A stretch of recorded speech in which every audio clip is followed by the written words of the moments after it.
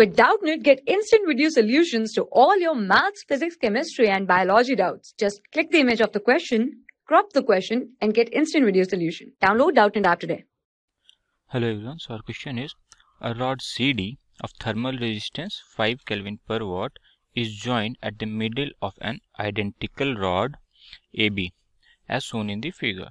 The NABD are maintained at temperatures 100 degrees Celsius, 0 degrees Celsius and 25 degrees Celsius respectively. Find the heat current in the CD. Okay, so in the given question we have been given uh, two rods A, AB and CD. AB and CD are uh, identical rods given to us, correct? AB and CD are identical rods, correct? By identical rods, it means everything for the rod AB and CD will be same, correct? Now, we have to find the heat current in the rod CD. Okay, now first of all, what we have been given is the thermal resistance of the rod CD is given to us as 5 Kelvin per watt, correct?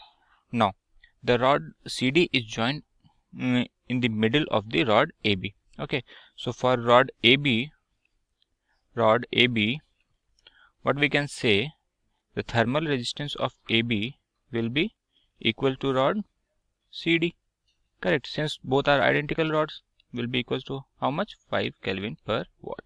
Now the rod AC, the point C on the rod AB is at the middle. So what we can say from here that the thermal resistance of the part AC will be equals to thermal resistance of the part CB will be equals to half of thermal resistance of the rod AB. Correct. From here what we get is half into 5 is equals to 2.5 Kelvin per watt. So we have calculated the thermal resistance of rod AC and CB. Correct. Now calculate the heat current from the rod AC. Correct. Suppose that the point C or the junction over here the temperature is Tc. Correct. The temperature is Tc. Let me just write it down okay? Tc correct? Now the thermal current or the heat current in the rod ac is given as temperature at a minus temperature at c divided by the resistance of the rod ac correct. Temperature at a is given as 100 degrees celsius minus tc divided by resistance of the rod ac similarly calculate the heat current from the rod cb it will be temperature at C minus temperature at B divided by thermal resistance of the rod CB. Correct. This uh, in the above equation, the resistance of the AC we have calculated, so put it here. Okay. So thermal resistance of rod AC is how much? 2.5. Correct. Now in the uh, rod CB, the temperature TC is TC, temperature at B is 0 and the resistance we have calculated for the rod CB is 2.5.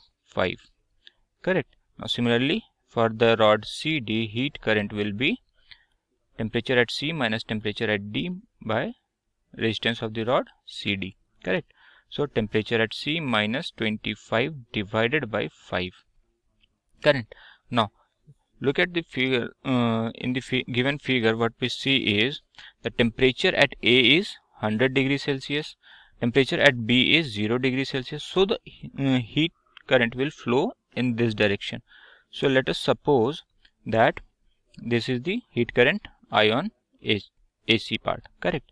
Now from here at the point C hmm, what we can say is from the temperature at D is 25 degrees Celsius which is lower than the temperature at point A. So the heat current from AC will get divided into two parts heat current in CB and heat current in CD correct now from the given figure what we can say is the heat current from AC will be equals to heat current in CB plus heat current in the part CD. Correct. So what we can say is the heat current in the part AC will be equals to heat current in the part CB plus heat current in the part CD. Correct. Now substituting the respective values what we get is 100 minus TC divided by 2.5 will be equals to TC divided by 2.5 plus Tc minus 25 divided by 5 correct now from here if we calculate the value of Tc Tc will be given as 45 degree Celsius. Correct. Now we have calculated the temperature at the point C. Correct. Now we have to calculate the heat current in the part or the rod CD. Correct. So the heat current in the rod CD is how much? Tc minus 25 by 5. Putting the value of Tc as 45 minus 25 divided by 5, it will be 4 watts. Correct. So the heat current from the rod CD is 4 watts and this is our answer. Okay. Thank you. For class 6 to 12, IIT JEE and NEET level. Trusted by more than 5 crore students. Download Doubtnut App today.